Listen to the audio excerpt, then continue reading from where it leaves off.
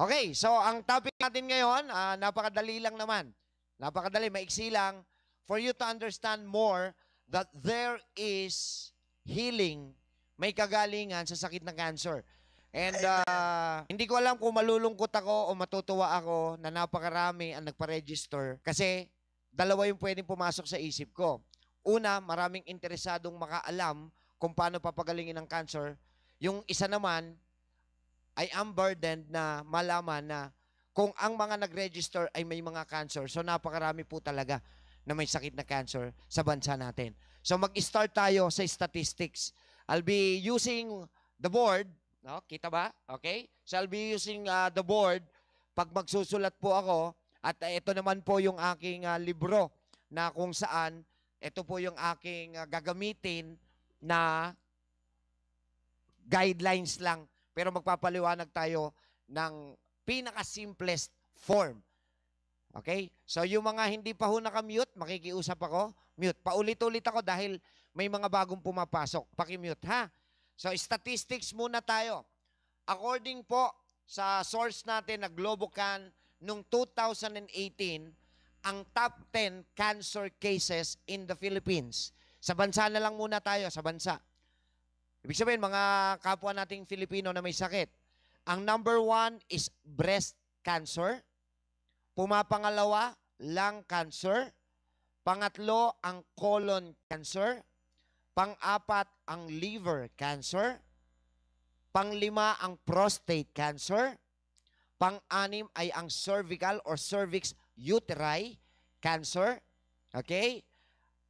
1, 2, 3, 4, 5, 6. Pangpito ay ang thyroid o papillary cancer.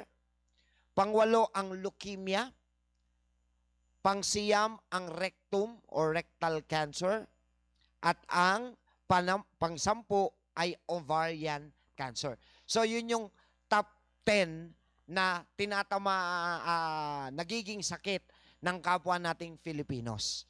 So kung ano yung mga sakit nyo, uh, siguro kasama kayo sa top 10. Yung iba naman katulad ng uh, non-Hodgkin's lymphoma, pancreatic, stomach, nasopharyngeal, kidney, brain cancer, bladder, ito ay nasa ilalim na ng sampu. Okay, doon tayo sa pinakamaraming lima. Para lang malaman nyo yung statistics, bakit? Kaya ako nag-web webinar ngayon, gusto kong ipaalam sa mga may sakit na cancer na nanonood ngayon, hindi po nakakatakot ang sakit na cancer. Napapagaling ang sakit na cancer. Gumagaling ang mga may cancer. At para mas maintindihan nyo kung totoong gumagaling o hindi, pwede kayong bumalik sa Facebook page ko o pwede kayong sumilip sa YouTube page natin. Makikita nyo po dun yung mga healing stories. Yung mga pasyente na nakinig at sumunod sa tamang disiplina, gumaling sila. Alright? So, uh, sa breast cancer, ito yung number of cases. 2018 pa to ha, so this is not updated yet. Nung to, uh, ang breast cancer is 24,798 cases. Okay. Pero ang number of dito is 9.3%. Which means, sa lahat ng tinatamaan ng breast cancer, 9.3% yung natutuluyan. So, bakit ko binabanggit to? Because I want you to know na hindi porkit nagka-cancer ka, it will be the end of your world. Hindi pa yun. No? Ah, uh, I hope, sana makapagtaas po ng kamay. Sino po rito nakapanood na ng uh, health forum ni Doc Atoy? Taas po ng kamay. Ah, almost all. Salamat po. Kasi kung hindi pa ho kayo nakapanood, I will request yung mga hindi pa na kailangan nyo mapanood dahil doon mas malalim yung discussion. Ngayon kasi specific lang ako sa cancer. Sa lung cancer naman po, ito, maraming natatakot pag tinamaan na ng lung cancer. Sa Pilipinas, nagkaroon po tayo ng 17,255 cases. Pakinggan nyo, ang death, deaths nila ay 15,454. So, ilang percent to? 17.9. Okay. So, these are the top 10 cases sa Pilipinas. Ngayon, ipaliwanag na natin ang cancer. Doc, ito mga topic ko ha. ito ang agenda ni Doc Atoy para sa inyo. Ano ba ang cancer? Bakit nagkakaroon ng cancer? Ano ang staging ng cancer? Karagdagang kaalaman lang ang kaya ko i-share. Ano ang staging ng cancer? Ano yung mga pangalan or scientific name ng cancer? At yung panlima, ha? Yung panlima, ano yung dapat mong gawin para matanggal ang cancer at gumaling ang iyong katawan na hindi na siya uulit. Okay tayo doon? Thumbs up please kung okay. Alright, sige. So ilan na tayo, idol? Ha? Wow, okay, sige. So, cancer muna. Scientific definition of cancer. Ang cancer po is an abnormal cell. Okay? Abnormal cell na nagiging uncontrolled ng human body kaya nakakagawa siya ng bukol. Pero may cancer din po na walang bukol. Katulad ng leukemia because this is a cancer of the blood. Okay? Pero the, the usual, may kasama pong bukol. Ulitin natin. Ang katawan natin ay made up of, ah, of cells. Of cells. Kapag ang cellula natin ay healthy, ang tawag sa kanila, normal cells na dumadaloy sa buong katawan. Kapag nagkaroon ng isang abnormal cell, abnormal, paano naging abnormal? Mamaya, yung factors, bakit siya naging abnormal. Pag may isang abnormal cell, nagiging uncontrolled ito at dumadamay siya, kumakain siya ng ibang cells na nagkokos kung para dumami sila mag-mutate sila, dumami sila, at mag-create ng iba't ibang bukol sa iba't ibang parte ng katawan natin and yung iba sa organs mismo tumatama. Alright. So, ano ang anatomy and physiology of a cancer? Ano ang anatomy and physiology? Ang cancer po ay nadidevelop ng isang tao kung, number one, kung ang cancer mo ay hindi agad na-detect at patuloy mong ginawa yung mga mga bagay na pwede magparami sa kanila. So, nagiging uncontrolled na sila, nakagawa na ng bukol, you are not changing any lifestyles that you had before, definitely, pabalik-balik lang sila. Babalikan natin ng konti kasi pare ko, mas marami, palagay ko ang hindi pa nakapanood ng Health Forum. O, so, balikan natin. Paano natin tutulungan itong mga nakikinig sa atin ngayon? There are only three steps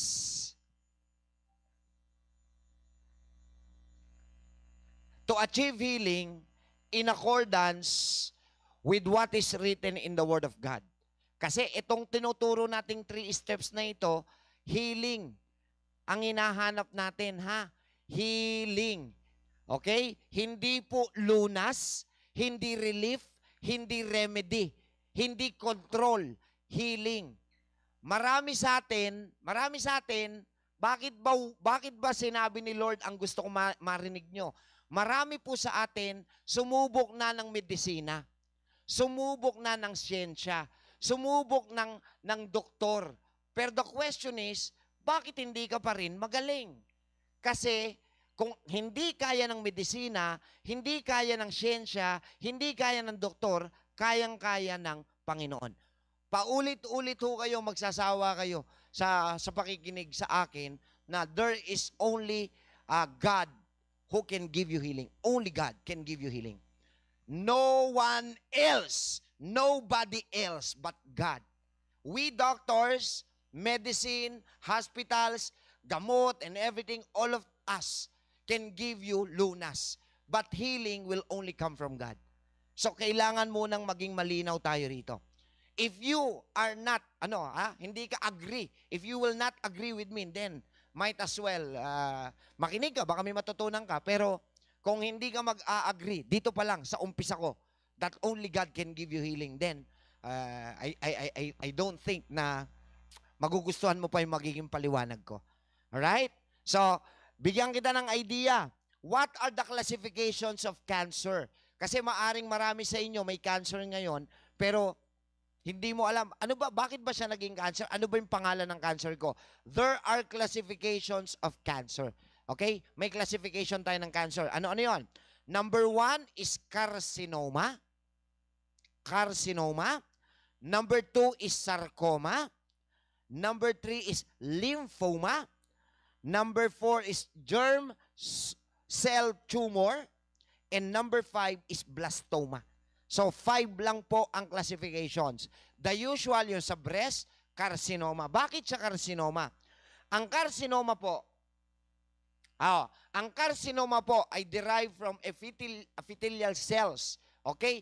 This group includes many of the most common cancers, particularly in the aged, and include nearly all those developing in the breast.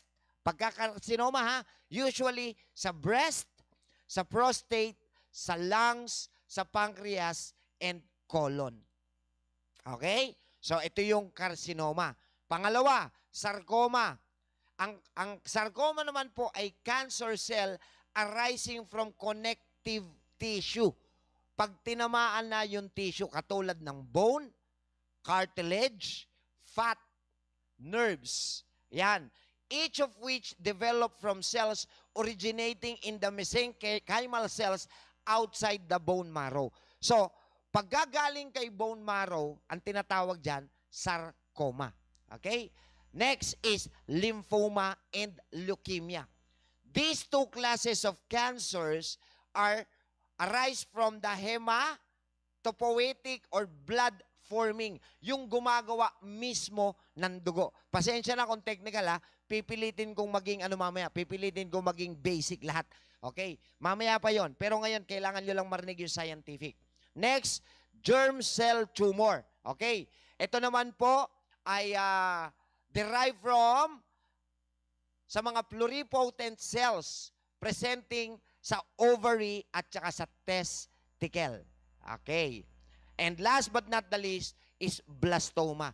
Pag blastoma naman po, usually kabataan or children ang tinatamaan nito. Ah, nanggagaling to sa immature precursor cells or embryonic tissue. Okay ba? Naka, na gumagana tayo lahat sa kanila? Pitong pages po yan. Okay. So, yan po ang classifications of cancer. Okay. Sige. Ngayon. Dali ha. Gusto ko basic eh. Kasi itong hawak ko puro scientific eh.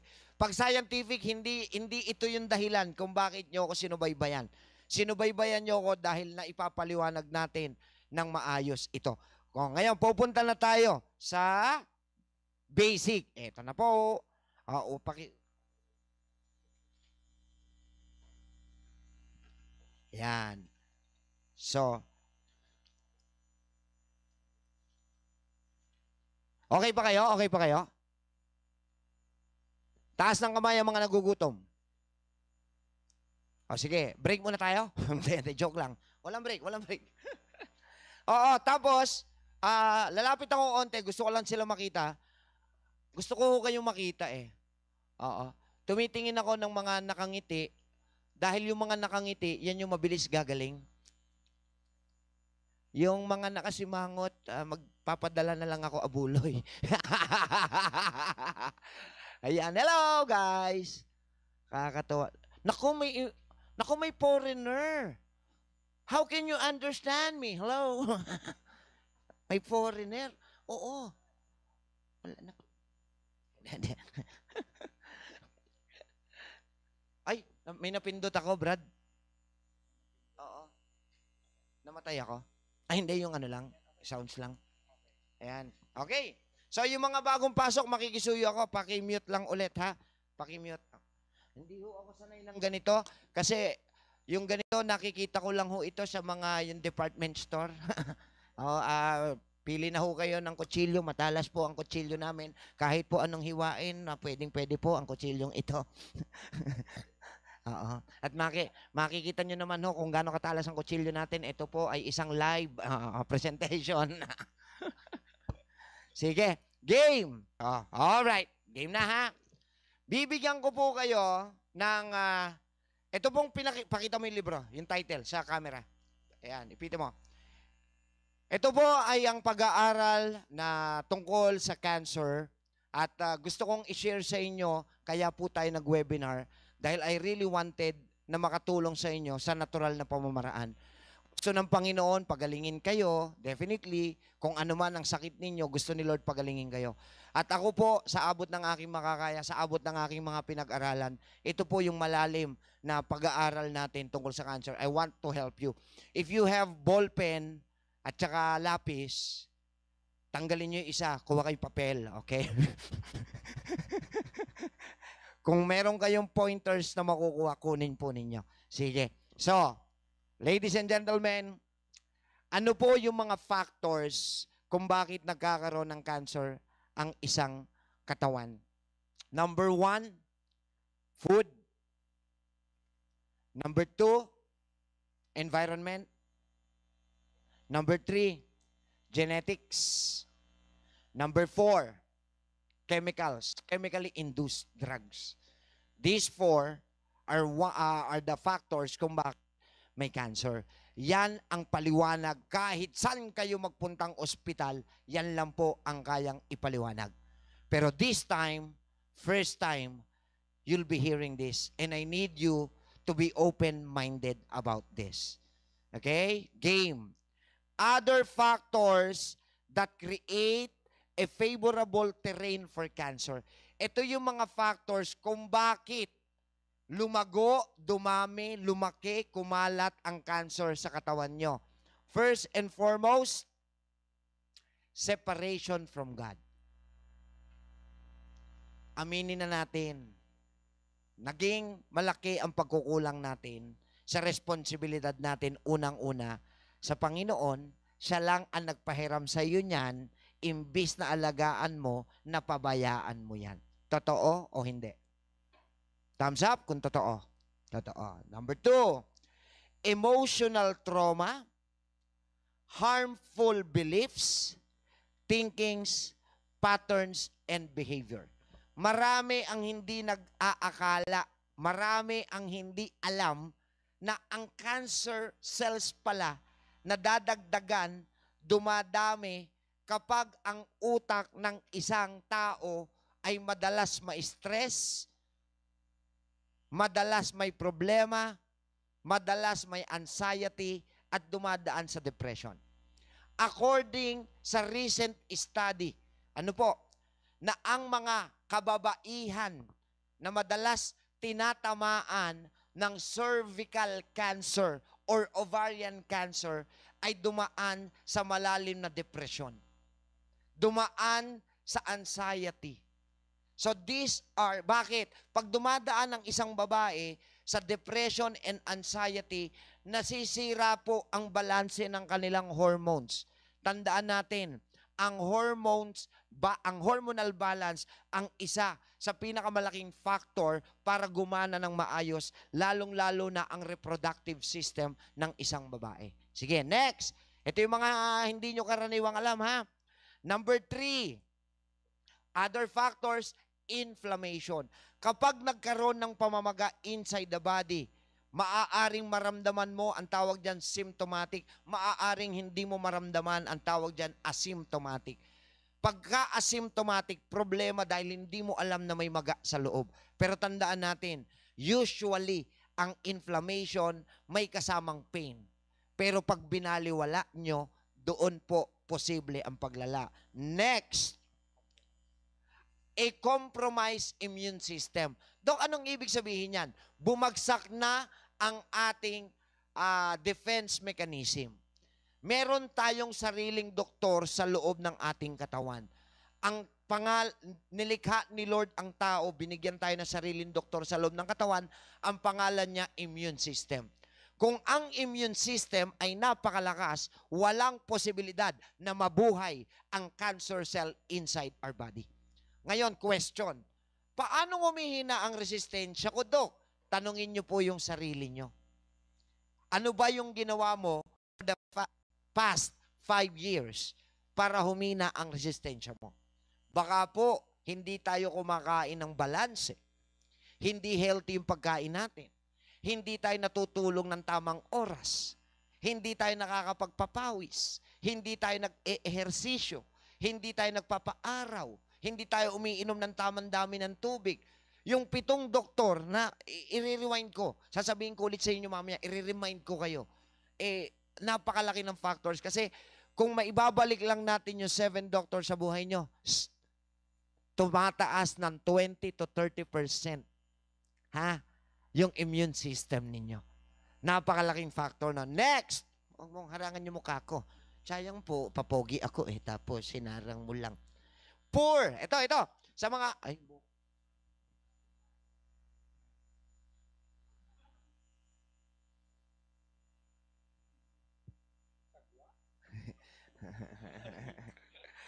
Next.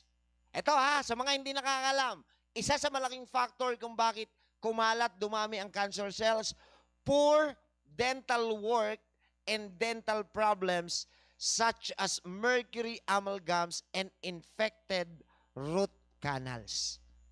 See? Hindi masyadong ipinapaliwanag yan. Tama? Pero nire-require ko ako mismo, yung mga pasyente ko, kung kayo ay may amalgams, amalgam sa inyong kulay silver na nakadikit sa inyong mga ipin. Hindi po ito. Patingin mo yan. Brace tawag dyan. Hindi yan. Amalgams, yung ginagamit pang, ah, pang pasta before, nung unang panahon.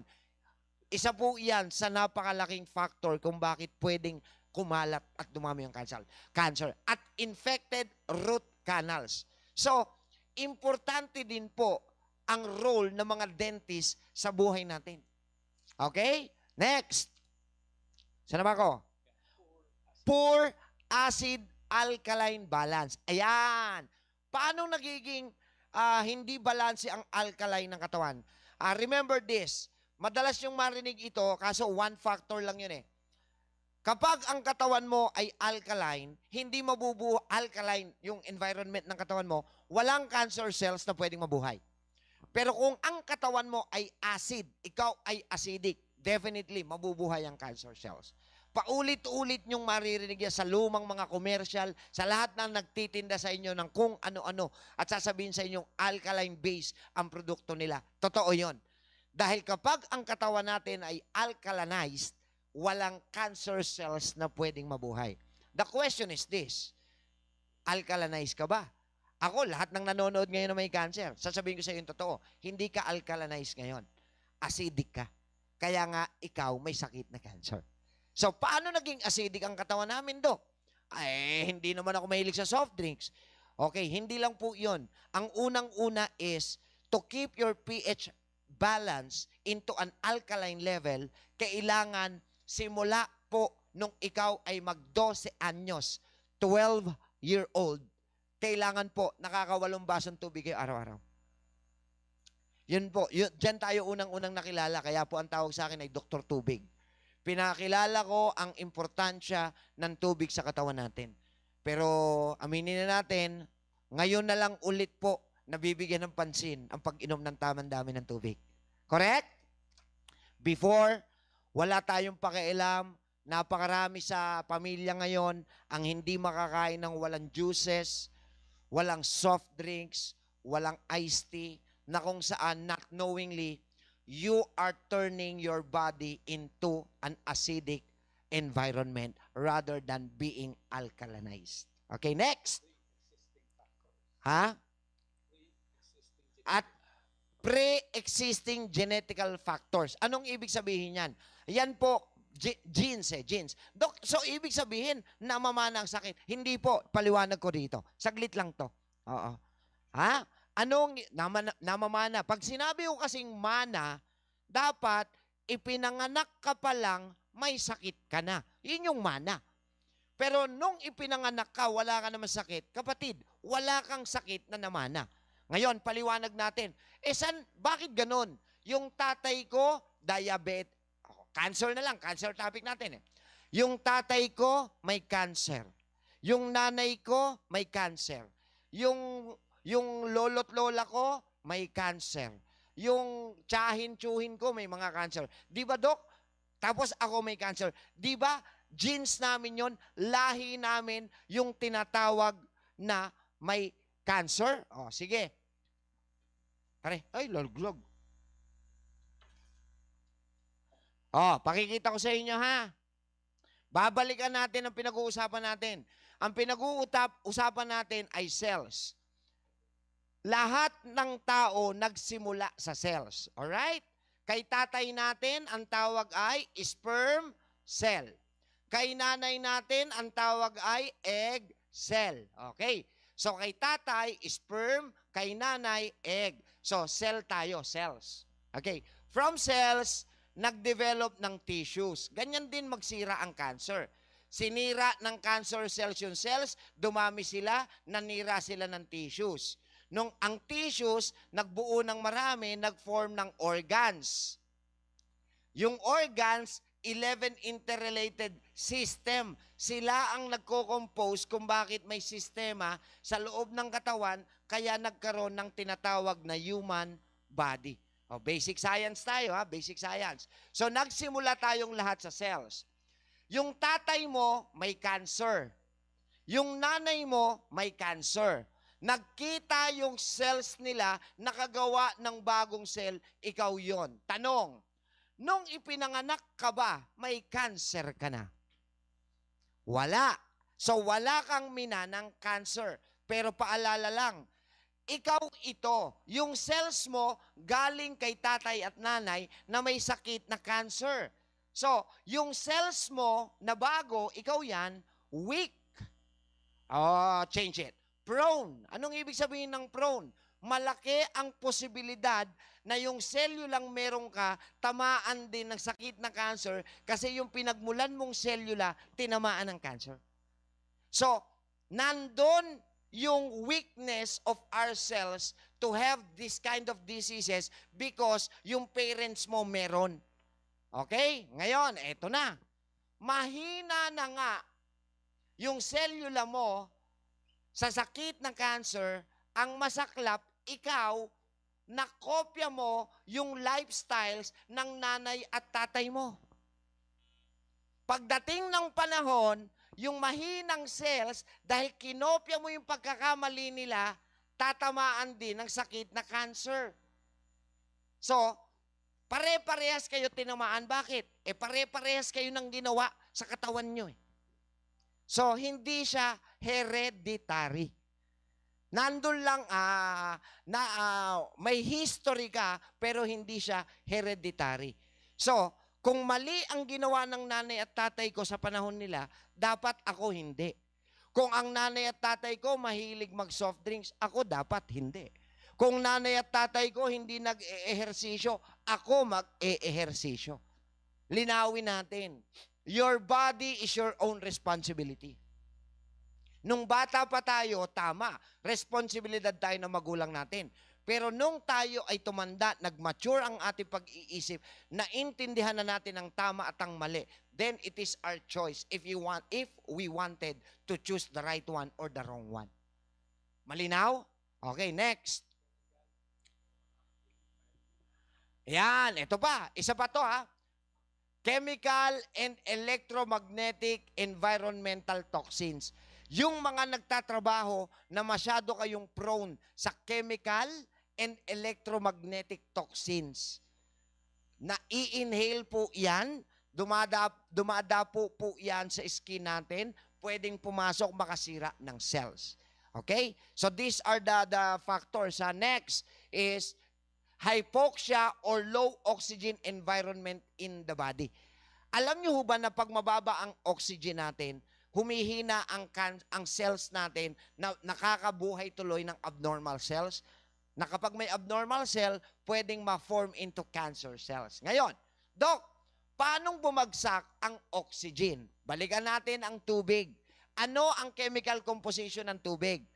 H2O two parts hydrogen, one part oxygen. Dahil mahina kang magtubig, pati yung oxygen na kailangan ng blood stream mo, kinakapos, humihina pati ang cellular level. Okay, next. Asa na ako, tol? Microbial imbalances such as chronic infections or poor good bacteria in the gut. Ito naman po, nakukuha natin to dahil po sa maling diet. Um, mga kaibigan, Ay, asan ba camera nila? Sa TV mismo? Ah, ito, ito camera. Okay. Mga kaibigan, paalala ko lang, baka ho pwede na nating ibalik ang pagbabalanse ng diet natin. Weekly naman to eh. Hindi naman sinabing pag-balance diet, puro gulay na lang kakainin nyo. Hindi ho. Balance lang po. Mai-enjoy pa rin natin lahat ng food that we wanted. The thing is, you just need to balance it. Bigyan ko kayo ng sample ha. Sample lang. Bibigyan ko naman kayo ng guidelines mamaya. Gusto nyo ba ng guidelines? Sino may gusto ng guidelines? Thumbs up. Ah, lima-limang piso lang. Paserox lang, paserox. joke lang, joke. Walang bayad. Okay. So, ano yung balanced diet? Pare, lag- lagyan natin ng daliri. Oh, halimbawa, lunes. Una- Lunes. Sabihin natin gusto mo ng pork. Oh, sige, pork. Martes. Kailangan po fish. Okay? Miyerkules, gusto mo ng beef. Beef. Okay? Webes, ah, vegetable. Okay? Biyernes, chicken. Okay? Sabado, seafoods. Di ba na-enjoy nyo lahat? Na-enjoy nyo lahat? Na-enjoy nyo lahat. Ang problema, hindi ganyan ang ginagawa nyo. Puro kayo baboy. Ulam sa kanin. Pinagsasama nyo kaning baboy. kaning baboy. so, kailangan lang ibalanse ang pagdadayet. Bakit? Ang digestive system, ang number one, kukuha ng nutrients to supply the nutrition throughout your whole body. If the digestive system are not functioning well, so how can they accumulate all the nutrients they need and to supply the needed nutrition for your body? So if you will keep your your digestive system in proper balance, kahit konti lang kainin mo, ang importante yung nutrisyon na makukuha sa pagkain. Malinaw? Oo. Wala pala ako talaga maririnig. Nakamute nga pala kayo. Sorry. Okay, next. Eh, excessive free radical production. Okay. Ang free radical, dyan po natin, kaya po kailangan natin ng antioxidant. Oxidative stress. Ang oxidative stress ay galing sa free radicals. Yan ay environmental na rin yan. Next. Deficiencies. Oh, oh, oh, oh. Ito, maganda to. Deficiencies or excessiveness of nutrients. Dalawa pala ang nagiging sakit dyan. Pwedeng kulang ka sa nutrisyon, pwede ring sobra ka sa nutrisyon. Kaya hindi po porkit mataba, ikaw ay healthy. Kasi excessive nutrients will definitely create an environment for the abnormal cells para mabuhay. Kasi talagang importante ang balance. And last but not the least, metaba, mat- metabolic factors such as thyroid and other hormonal imbalances. Karaniwan naman po ito sa kababaihan. Okay, ngayon, bibigyan ko kayo ng napakagandang ah, Okay. Meron pong study, ito ha, merong latest study, kasi pagka po technical, kailangan magbabase ako rito. Ayoko kasing sabihin nyo, sabi ni Doc, hindi ho, according sa study. Ha? Okay, according sa study, in another study, researchers, researchers found that those prone to stress, lahat ng kababaihan na hindi kayang mag-handle ng stress, hindi, lala, babae lang, are more likely to develop breast cancer. Naku po, ayan. So napakalaking bagay, napakalaking bagay ng handling of stress. Anong ibig sabihin ng stress, Doc? Thinking much of the negative things rather than looking at the situation as a challenging manner. Ganun lang naman kasimple yon. Okay, next, pupunta na tayo. Kasi yung oras yata natin sa ano, limited. Yung may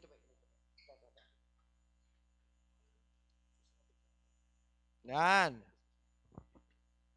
Ngayon, Dahil naintindihan nyo yung mga factors na nangyayari na yan, no? yung mga factors na hindi masyadong naipaliwanag sa, sa atin, sa ospital, eh, ito naman yung part ni Doc Atoy para ipaliwanag ko sa iyo. Your body has a natural intelligence which automatically eliminates cancer cells every day. Listen, ang ating katawan ay binigyan daw ng Lord ng natural intelligence to eliminate cancer cells every day. Wow! At ang tanong, Dok, paano namin ma-activate, ito ha, paano namin ma-activate yung natural intelligence ng katawan namin para siya mismo ang papatay sa cancer cells. Balik na tayo sa three steps. Ito yon. Okay? Ah, ayan.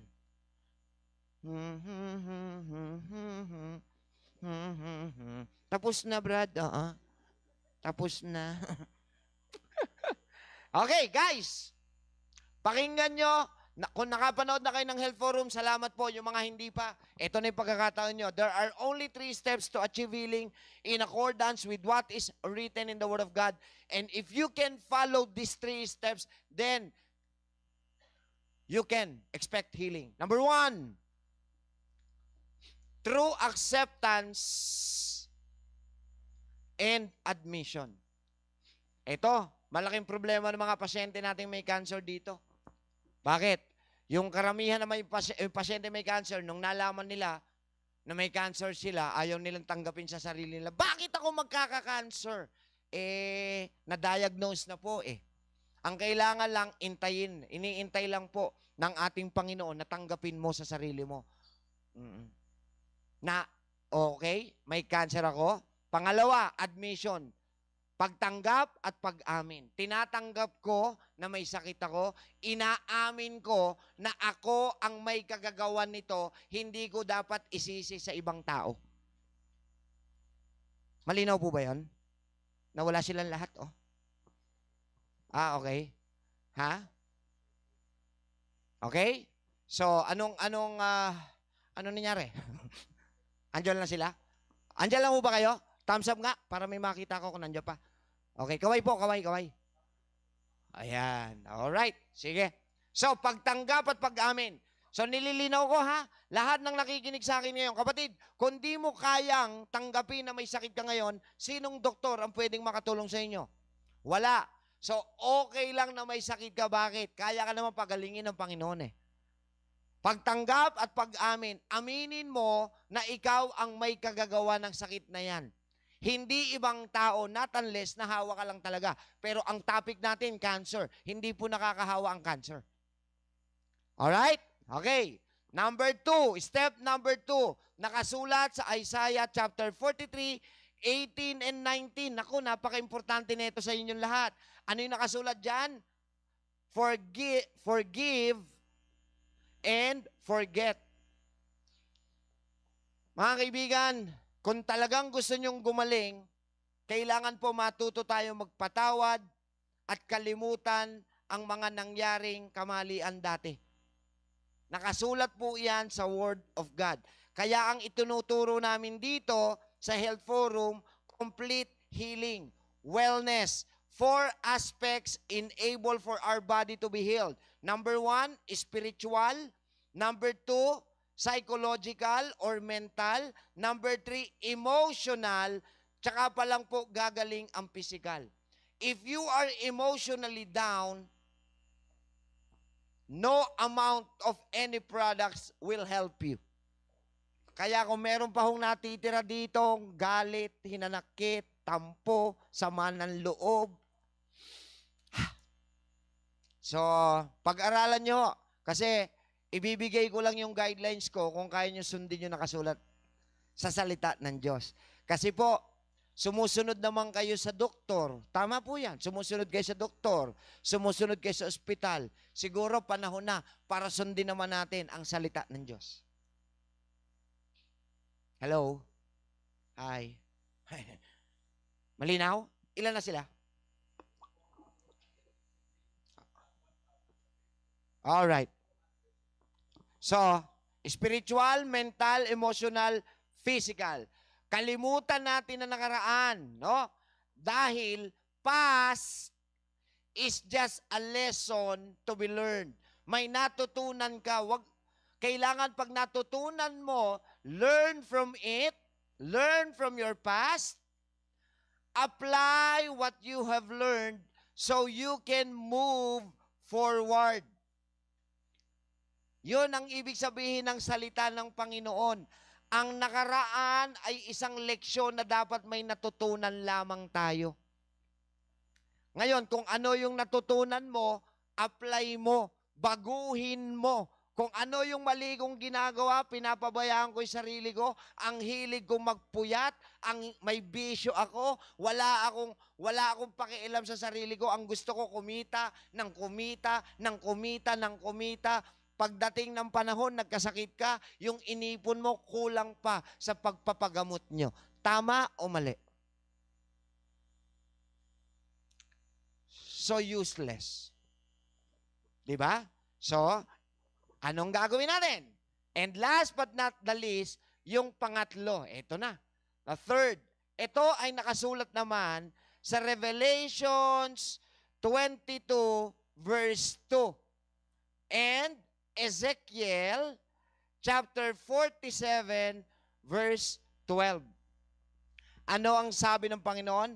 Tinanim ko ang mga halaman at puno upang ang mga dahon at bunga nito ang magsisilbing kagalingan sa lahat ng uri ng karamdaman ng buong nasyon.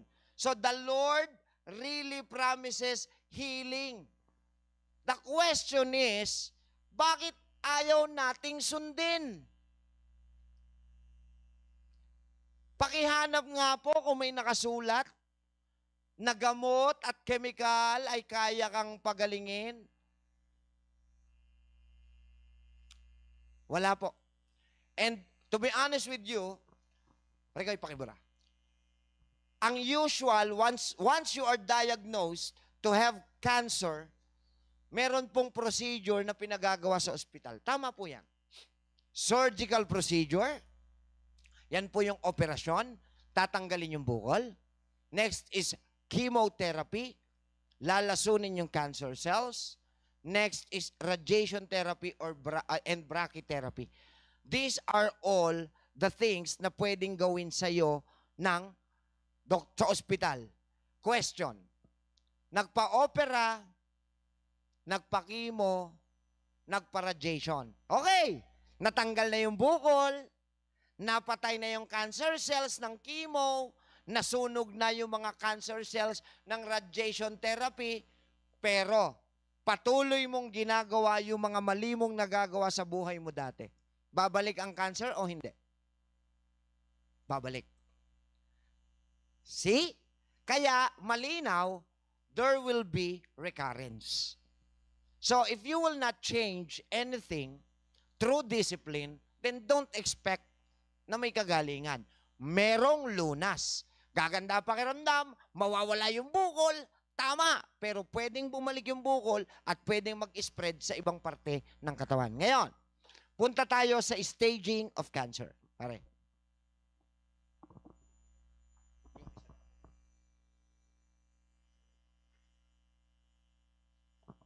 Okay? Para lang ko doon sa mga hindi pa, paano ba nalalaman yung staging na yan? Bakit pag sinabing stage 4, ah, uh, ito.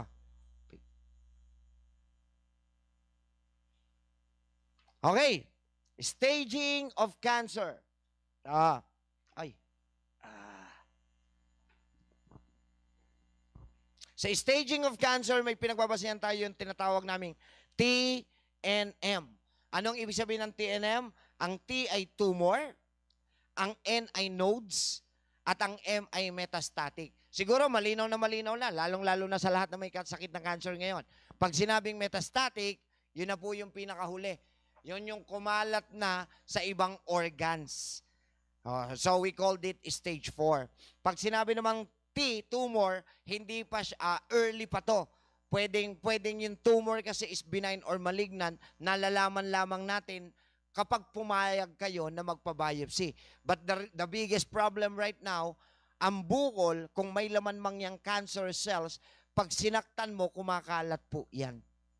Kaya ako, ako mismo bilang naturopathy practitioner, I suggest kung may bukol ka at medyo concern ka sa bukol mo, kaso ah, hindi mo alam kung benign or, or malignant, edi tunawin na lang natin sa pamamagitan ng disiplina.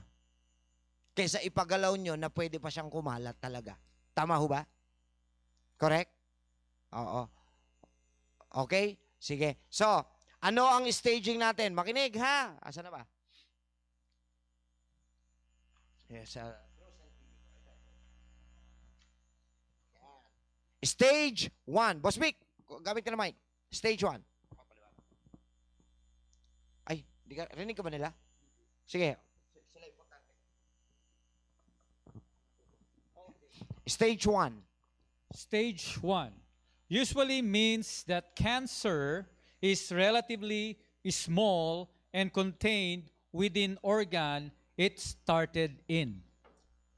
Ang stage 1 po, contained. Ang stage 1 po, contained. Nasa iisang area pa lang. Maliit pa lang po siya. Okay? Mamaya malalaman nyo yung centimeter. Usually, pag wala pang 2 to 3 centimeter, stage 1 yan. Next, stage 2.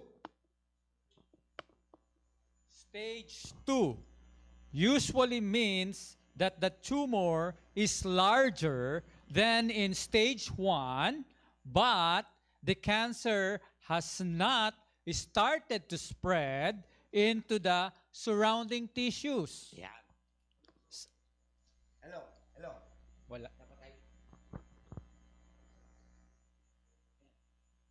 Yan. So, pag stage 2 naman po, okay, medyo mas... Check. Check. Para akong sira ulo nito. Dala-dalawang mic hawak ko. ah, sa mga kababayan, no? parang, ah, parang sona na labas nito. Tsagayin nyo na ho. Okay, sige. Ang, balikan natin, ha? Stage 2. Ano yung stage 2? Okay, stage 2. Sometimes stage 2 means cancer cells have spread into lymph nodes close to the tumor. This depends on the particular type of cancer. Okay, so hindi pa po nakakarating sa iba, yung cancer cells, medyo mas malaki sa stage 1, yung bukol, mas malaki sa stage 1, pero hindi pa nakakarating yung cancer cells sa ibang kulane o nodes. Ang katawan natin ay gumagawa ng mga kulane to protect us for further infection. Pero kapag ang kulane na ginawa ng immune system mo ay na-invade na rin ni cancer, then tumataas po yung ranking o yung staging na tinatawag namin. So, stage 1 and 2, we call it uh, early stage. Stage 3 and 4, advanced stage. Stage 3. Stage 3 usually means the cancer is larger. It may have started to spread into surrounding tissues, and there are cancer cells in the lymph nodes in the area. Yon, pagka po tinawag na na stage 3, ibig sabihin, yung kinreate ng immune system natin na protection, which are the lymph nodes or nodules, binahayan. Dapat protection lang natin siya. Siya yung hindi papayag na makalapit yung cancer.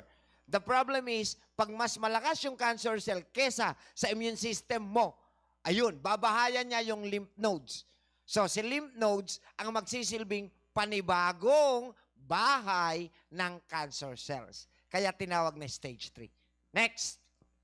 Stage 4 means the cancer has spread from where it started to another body organ. This is also called secondary or metastatic cancer. Sometimes doctor use the letter A, B, or C to further divide the number of categories. For example, stage 3B, cervical cancer. Yan. So, ang ibig sabihin ng stage 4, nakalagpas, pakinggan nyo ha, nakalagpas pa doon sa nodes yung mga cancer cells at nag-invade pa ng ibang organs po ninyo. Ayan. So, sinisimplify ko lang para mas madali nating maintindihan. Balikan natin, stage 1, nandun lang po sa iisang area yung cancer mo. Nandun lang. Wala pa siyang, hindi pa nakakarating sa ibang tissue na sa iisang area.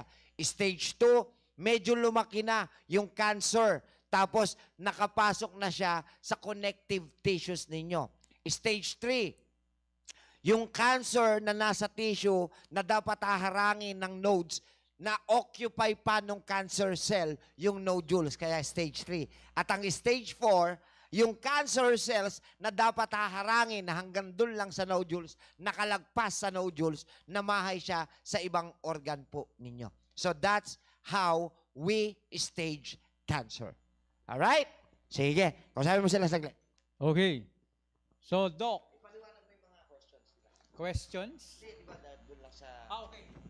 Sa ating pong ah, webinar, okay, sa ating po mga nanonood sa webinar na nakapasok na 157, mangyari lang po, dyan na po kayo mag-type ng inyong question at mamaya po ay dadamputin namin para po mabasa ni Doc sa inyo para po to discuss yung inyong katanungan. Okay, pwede na po kayong mag-message sa ating mga webinar, yung sa ating po nasa Zoom ngayon.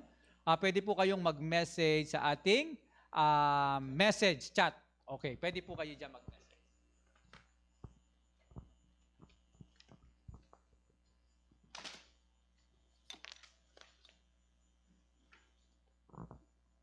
Alright. So, kung yung mga nanonood sa atin, okay, yung nanonood sa atin, kung karamihan sa inyo may sakit na cancer o meron kayong ah, kamag-anak na may sakit na cancer, tanong, Doc, possible po ba ang healing? My answer is 100% yes. Possible ang healing. Okay? So, kasi kay Lord walang imposible. Ngayon, what are the things, ito, ito, ano nakasulat? There are steps. Yun nga lang, may mga hakbangin na dapat kang gawin rather than mag-worry. Kasi kung magwo-worry lang kayo, wala na ho kaming magagawa sa inyo. Walang-wala na. Kung ikaw ay nakatutok sa pagwo-worry, pag-entertain ng negative thoughts, then all of us, baliwala na po, hindi na kami makakatulong sa inyo. Tandaan nyo, lahat kaming nandito, lahat ng kamag-anak mo, gusto kang gumaling. Tama? Tanong, eh kung ikaw sa sarili mo, ayaw mo nang lumaban, may magagawa pa ba kami? Wala ho. So, ang sakit na cancer ay challenge sa buhay mo. Kapag nalagpasan mo, huwag ka na hong babalik ulit. Okay? There are things to do para ma-cure. Number one. Ay, sorry. Ako ba? Oo. Ako pala. Okay, number one, mind-body disconnection. Kailangan po, maiset po natin sa isip natin na kapag ang katawan ko ay may sakit, kailangan po yung utak ko mas positive kasi utak ko ang mag-uuto sa katawan ko to function properly. Next. Number two, toxin proliferation. Oh. Uumpisahan na po natin yung bawal. Yan po yung malaking malaking ah, pinagtataka ko na hindi nyo pinagbabawalan yung sarili nyo sa mga pagkain na alam nyo na bawal o makakasama sa kalagayan nyo. The usual kasi, Kige, may bawal ba sa akin? Nagtatanong kayo. Ang sasagutin sa inyo, wala naman. Kainin mo lahat ng gustong kainin mo. Eh, paano kung nakakain nyo, pagkain din ni cancer cells? Eh di naggagamot kayo, pinakakain nyo rin si cancer cells, baliwala lang din po yan. Next. Next, ito po ang susunod. Low activity of the immune system.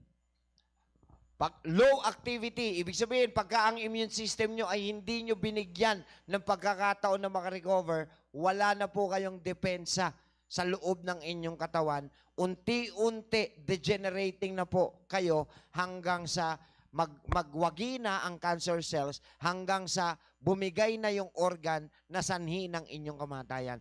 Ladies and gentlemen, let me be clear.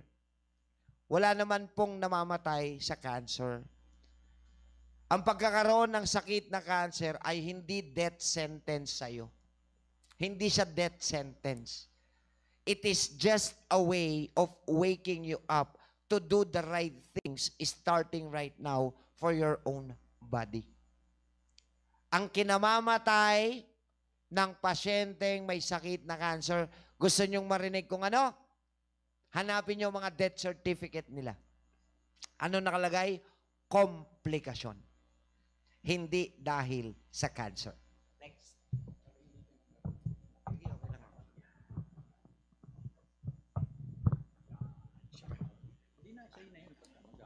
Dahil mo namang mic.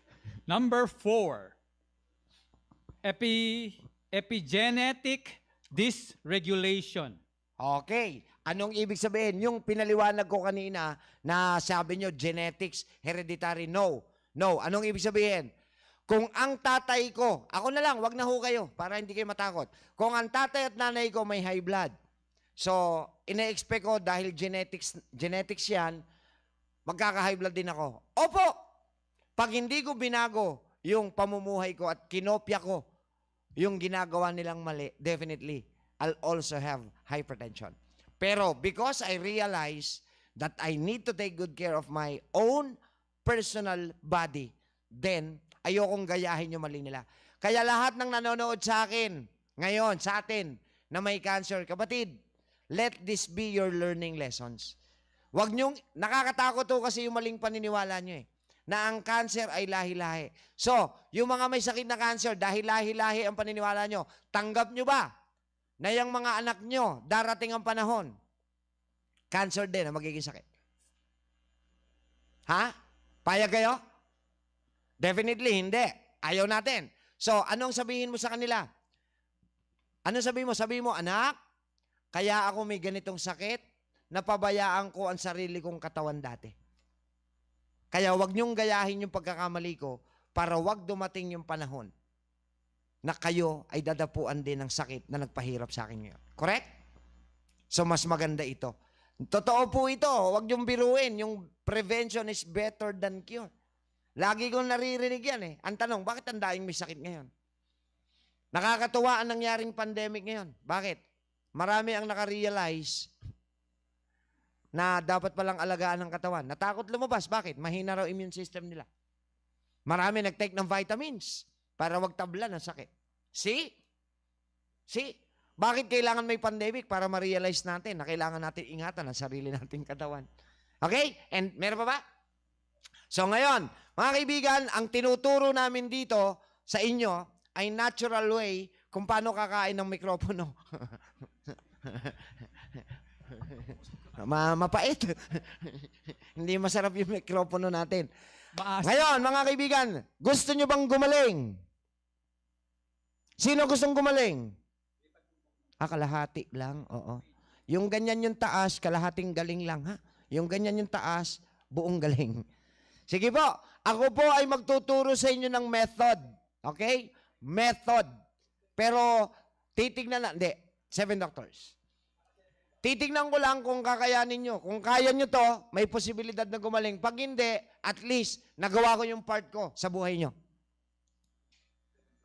Mm-mm. Ako na. Okay, sa lahat ng gustong gumaling, ah, lahat po kayo na interesado, ay bibigyan ko po ng libreng kopya netong seven doctors at libreng kopya ng nutritional guidelines. Makukuha nyo po sa email nyo. Kasi may email po kayo sa amin. Tama ba? Okay, game. Tingnan mo kung kaya mo ha. Ibabalik po natin ang disiplina sa katawan. Kaya o hindi? Thumbs up ang kaya. Dami. Thank you. Thumbs up ang kaya. Disiplina. Pag sinabing bawal, kakain o hindi? Okay. Sige. Seven doctors, ito yung discipline. Ikaw muna. Okay, ito po yung ating ah, seven doctors na i-discuss sa inyo na dapat po nating sundin. Number one is Dr. Water. Okay, kailangan po tayong makainom ng 8 to 10 glasses of water. Okay, kailangan po yan nating inumin. Pero hindi po ito applicable sa apat na sakit na mababanggit ko. Nandiyan dyan po ang RHD, rheumatic heart disease, pleural effusion, liver cirrhosis, ascites, and chronic kidney disease. They are not allowed to drink more than 1 liter. So hanggang, hanggang dun lang po sila. Pero kung kayo ay wala naman po doon sa sakit na yon, kayo po ay required makainom ng 8 to 10 glasses per day. That is Dr. Water. Okay. Next, andyan po si Dr. Sunshine. Kailangan po nating magpaaraw dahil dito po natin ang ku- kukunin ang natural vitamin D. Okay? Sa pagpapaaraw po, kailangan lang ay 5 to 10 minutes na pagpapaaraw. Okay? Next, doctor exercise. Okay. Dahil meron po kayong ah, severe cases, you are not allowed to do strenuous activities. Kailangan lang po mild exercise, no strenuous activities na kung saan kayo po ay kailangan lang pagpawisan. Pagpawisan. Alright? And then, next to doctor exercise, this is number four, the doctor air. Doctor air, ito naman po ang inhale, exhale, na kung saan ito po ay kailangan natin every morning pagkagising na ma-practice po natin ang ating mga baga. The inhale, exhale. Ito po ay kailangan sa ating katawan para po magkaroon ng magandang blood oxygen flow sa ating pangangatawan. So inhale, exhale, gagawin nyo lang po ito. Inhale sa ilong at ibubugan nyo sa bibig 6 seconds. Inhale, exhale. So 10 times yung repetition na gagawin po yan every day. The Dr. Sunshine, exercise, Dr. Air, pwede nyo pong pagsabayin-sabayin habang kayo'y nag exercise nagpapaaraw, at the same time, do the inhale, exhale. And then, Dr. Sleep. Ito po ay kailangan natin na makakuha tayo ng 8 hours of, of sleep. Dahil dito, kailangan po 10 p.m. 10 p.m. onwards to 5 a.m. Kailangan po yan yung tulog natin. Dahilanan po, sa dito nagkakaroon ng cell regeneration. Cell regeneration. Kailangan 10 p.m. to 5 a.m. Yan po yung ating ah, sleeping hours na maging habit natin. Okay? Sa 10 to 4, binanggit mo, no? Okay, ulitin natin ha, pakinggan nyo maigi. Lalong-lalo na sa mga may sakit na cancer, makinig po kayo maigi.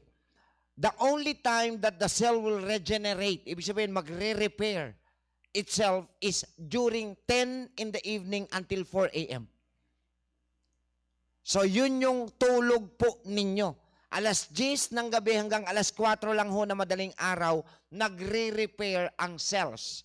Pag, pagka po wala na sa ganong oras, ang ginagawa ng cells, nagda-digest. Kung digest lang siya ng digest at wala pong repairing, hindi po kayo gagaling. Okay, next is Dr. Diet. Okay, ito po yung pang-importante na meron po tayong susundin na dietary supplement na which is ibibigay din po namin sa inyo. Sa ating po mga pasyente, you are allowed to eat heavy meal sa umaga. Breakfast, okay po yan. Then, lunch, okay po yan. Pero you are not allowed to eat too much na sa gabi. Okay? You are not allowed to eat too much sa gabi dahil kailangan nga po 10 p.m. kailangan makapagpahinga na kayo. It will take 2 to 3 hours para ma-digest. Kung kakain po kayo ng marami, pagdating ng alas 7 ng gabi, mahihirapan na pong mag-digest ang ating mga organs dahil 10, kailangan na po tayong magpahinga. So you are not allowed to eat heavy meal sa gabi. That is doctor diet. And lastly, number seven, ito po yung mga importante. Pinaka-importante sa seven doctors, ang doctor energy. Ikaw na mag-liwanag. Okay, doctor energy, ito po yung the positivity of mind setting sa ating mga utak na dapat po tayo ay mag entertain lang ng positivity. Wala pong Hindi lang ikaw, pati pamilya mo. Kaya ipapaalala ko lang po sa mga nanonood, unang-una salamat po sa Panginoon dahil sa pagtitiwala po ninyo na alam ko kaya kayo inter- kaya kayo nakikinig, interesado kayo. Pero kung ito pong gagawin ninyo, naniniwala kayo dahil napakinggan nyo po kami, o maganda yung napakinggan nyo, pero may kukontra po sa pamilya nyo. Ang tawag po doon, negative. Negative na po yung energy sa bahay nyo. Pagka po negative yung energy sa bahay nyo, wala rin pong resultang maganda. So, might as well, kung kayo ay naging interesado, papanoorin nyo rin po ang kapamilya nyo ng Health Forum so they, they'll be supporting you kesa po magkalaban kayo. Mamaya, bibigyan ko kayo ng three options kung ano gusto nyong gawin. Mamaya pa yon. Punta muna pa tayo sa positivity. Ikaw muna. Okay, positivity. Importanteng importante ito po sa isang pasyente dahil dito po nagsisimula ang mindsetting. Kailangan po, we have to think positive kung anumang merong sakit na meron ng isang pasyente. Dahilan ito po ang magaguide sa inyo para makaisip ng tamang gagawin.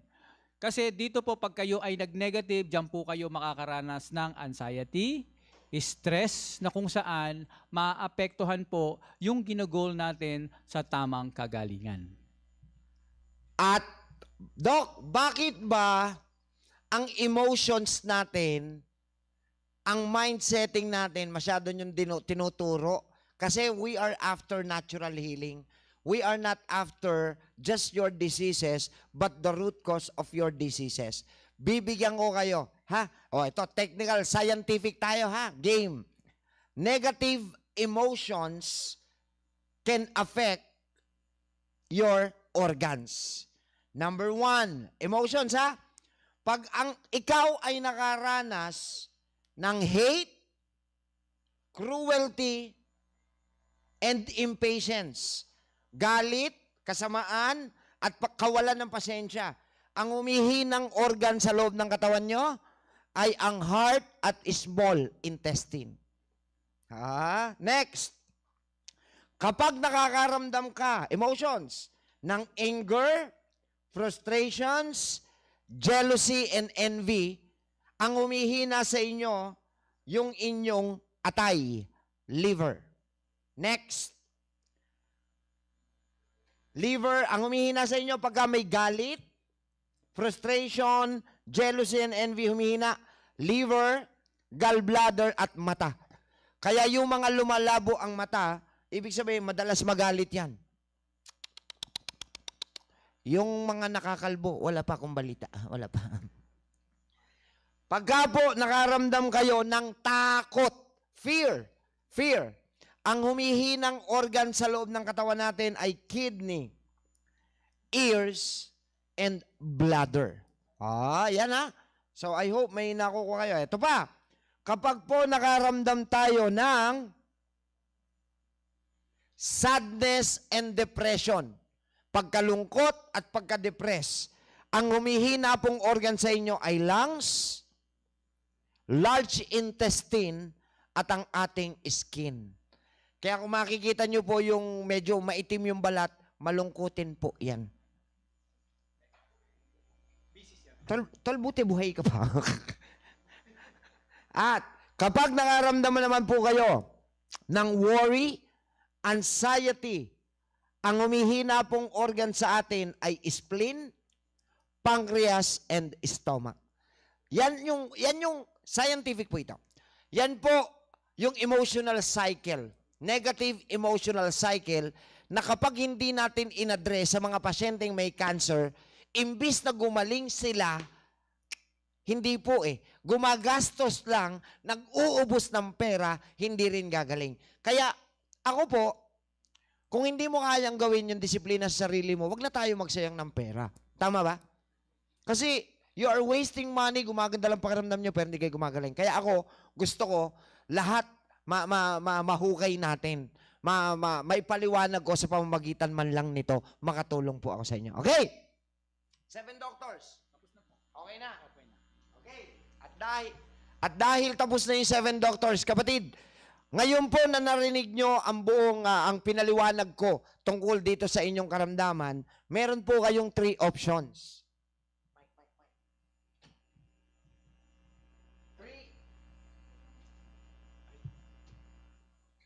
Ay, lalapit mo pala. Sige. Hindi, kaya. Hello. Ay, wala. Three. Rinig, rinig nyo ako. Thumbs up po kung rinig nyo ako. Okay, sige. Meron po tayong three options na pwede nyong pagpilian ngayong nakapakinig po kayo ng cancer webinar na to, ha? Anong three options? Number one, you may decide to do the Western medicine. Ano po yung Western medicine? Yan po yung opera, chemo, radiation, brachy. Pwede niyang gawin nyo. Number two, you may decide to do the alternative medicine only. Ano naman yung alternative medicine? Itong itinuturo ko. Or, you may also decide to do the CAM. Doc, ano po yung CAM? Complementary Alternative Medicine. Doc, anong ibig sabihin yan? Pinagsasabay ang Western at alternative. Okay? Doc, hindi ba masama yung pagsabayin? Hindi ho. Kaya nga may option number three eh. Kasi ang nakakatakot lang naman sa chemotherapy is dahil chemical ang ginamit ninyo, yung side effect. Okay? So napapatay niya yung cancer cells, pero dahil may chemical siya, nakaka-apekto siya ng good cells and other organs. Samantalang sa alternative naman, nutritional management ang ginagawa natin. So, yung kinimo ng Western, i-repair ngayon ni alternative.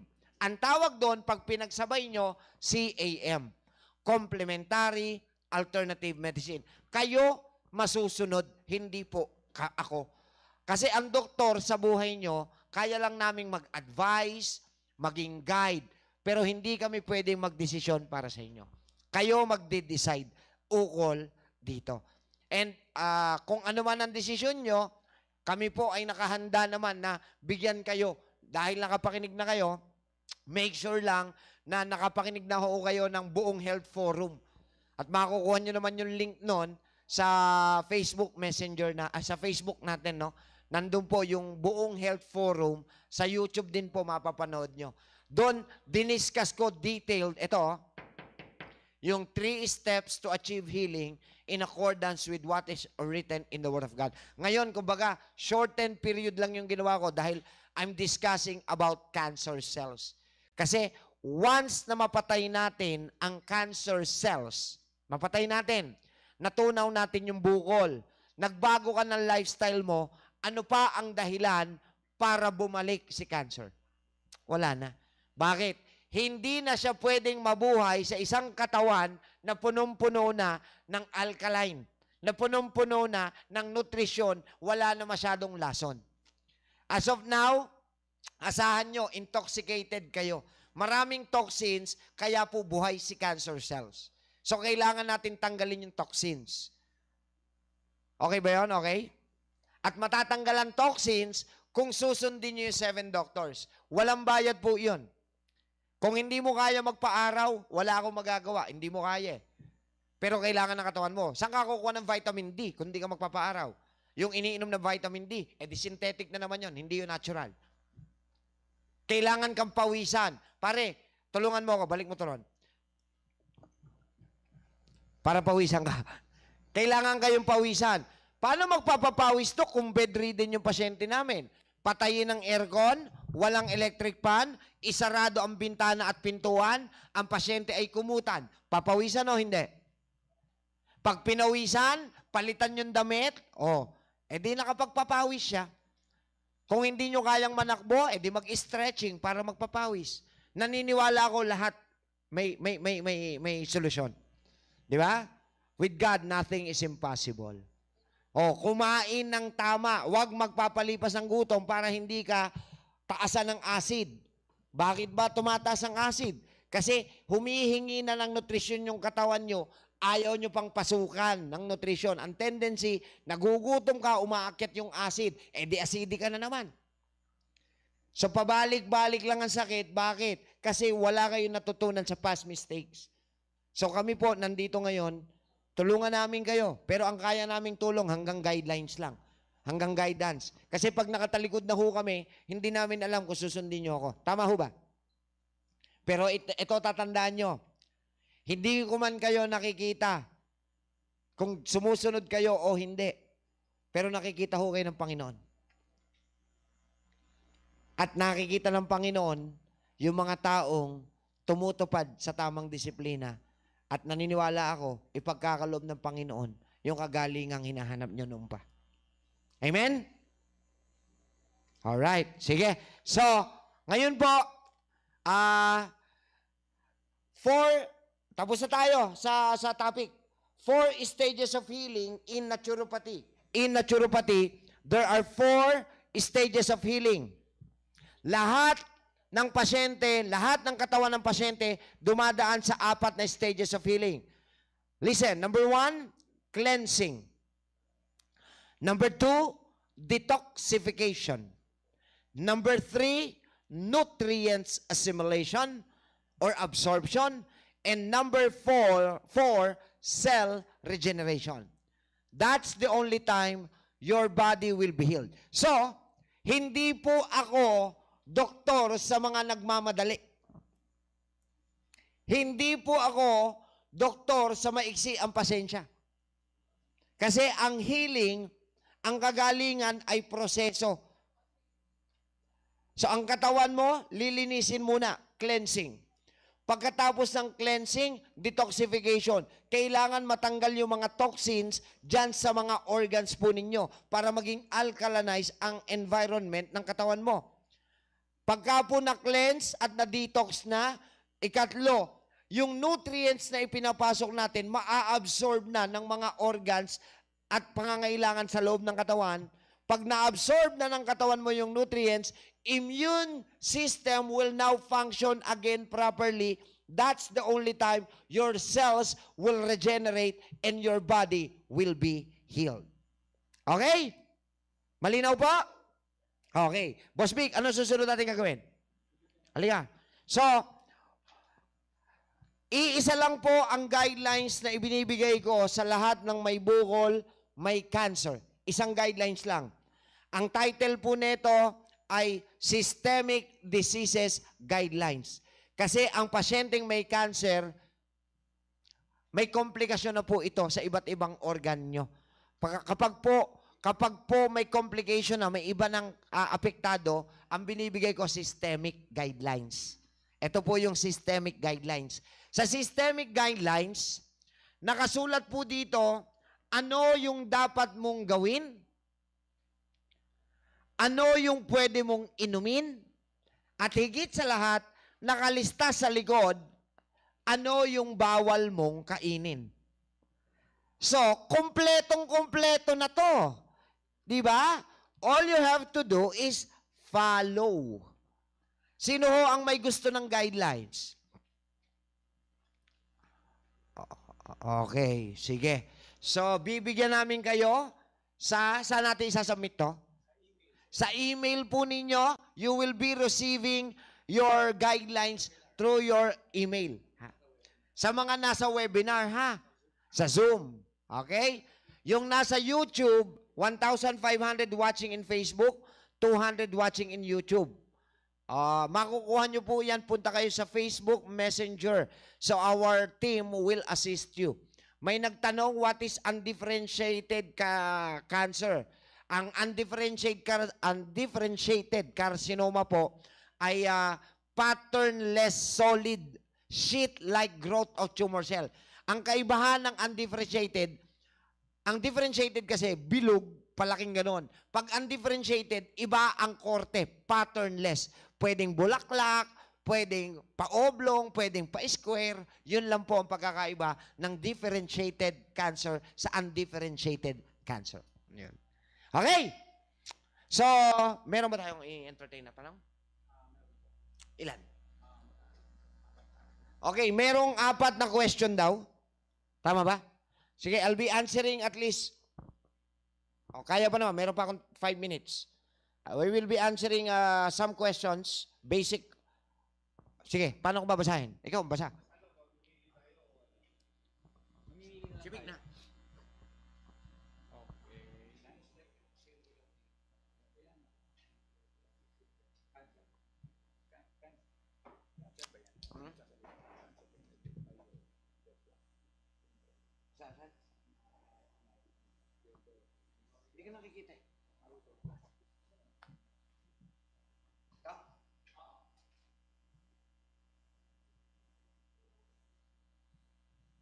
Buko lang. Sige, question. Asa ba? Ayan, o basa. Hindi ko kita eh. Dali lang ha, babasahin lang. Ang haba. Ang haba. Ayan. Okay na yan? Sige, sige.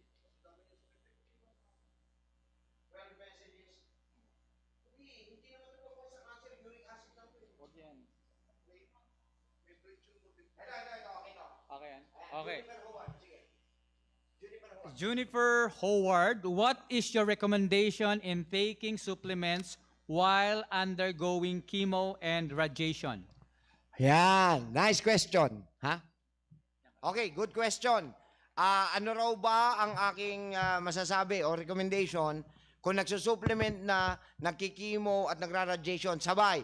Very good po ako dyan. Okay ako dyan. Ang tawag dyan, CAM or Complementary Alternative Medicine. Pero kailangan lang po maging malinaw.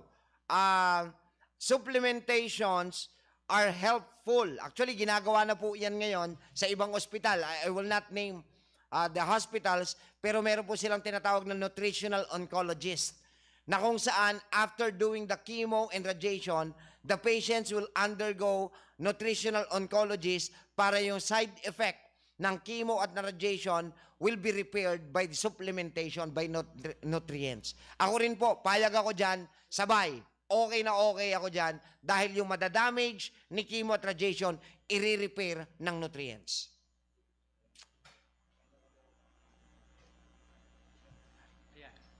Next. From Melissa Francisco, ah, ano ano po ang mangyayari sa katawan during the four stages in healing? Wala naman pong mangyayaring kakaiba o nakakatakot. Pero, pero there are cases that the patients will feel uh, some reactions.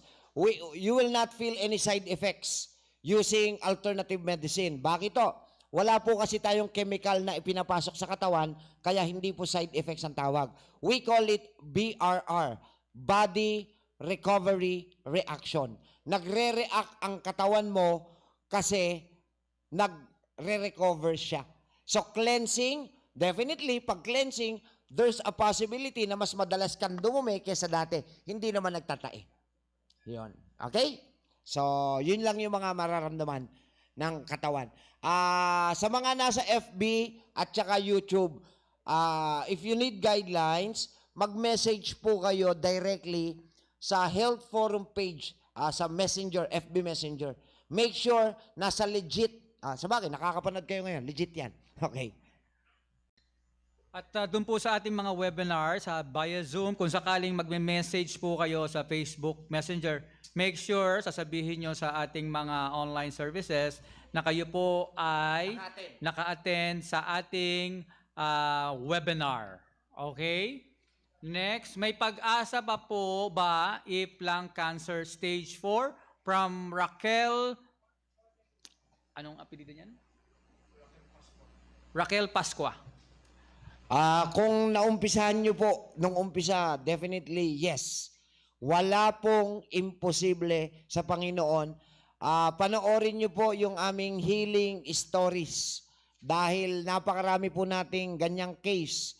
Lung cancer with bone metastasis, ah, pinagaling pa po ni Lord. Hindi po pinagaling ni Doc Atoy, hindi pinagaling ng Health Forum, hindi pinagaling ng Synergia, hindi pinagaling ng supplements, pinagaling ng Panginoon sa pamamagitan ng kanyang disiplina at pananampalataya. Kami po ay instrumento lang para mag-guide. So, depende po sa paniniwala nyo. Kung naniniwala kayo na gagaling pa, definitely, gagaling pa. Kung naniniwala kayong hindi na, eh hindi na. Okay? Ano pa? Okay na po tayo. Okay, ah, doon sa mga nag-webinar ngayon, ah, bibigyan na po namin kayo ng guidelines. Handa na ba kayo? Tapos, pagka po kayo ay nabigyan ng guidelines, the, because the guidelines, ang umpisa po niyan ay 45 days. Anong ibig sabihin ng 45 days? One and a half months. Yan po yung first phase of treatment na ginagawa ko sa naturopathy. After one and a half months, magfa-follow up po kayo. Ang tawag ko po doon, developmental monitoring. Para makita ko, kamusta ka na. So kung, kung tayo ay naka-lockdown pa rin, hindi tayo magkikita ng personal, magfa-follow up tayo via Zoom. Okay ba sa inyo yan? Para ma-monitor ko po, kamusta ka na ba? Di ba? So makikita natin yung development. So ang tawag namin doon, first phase. 45 days is first phase. After 45 days, titignan natin yung development. Depende kung papasok ka ng second phase o graduate ka na. Depende kung anong kalagayan. Naintindihan po ninyo? Okay? So all of you will be given a guideline. Meron pa ba? Brother, may tanong pa? Nawawala? Okay, sige, ikaw na, boss. Ikaw, ah.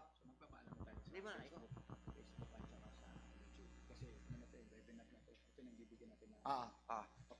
Sige. So, yung mga nanonood sa YouTube ah, at saka sa Facebook, maraming maraming salamat po. After ah, after po ng second ah, after po ng second phase, ibig sabihin second 45 days, ako po mismo ang gagawa ng inyong ah, request for laboratory. Okay? Wala rin pong bayad yon.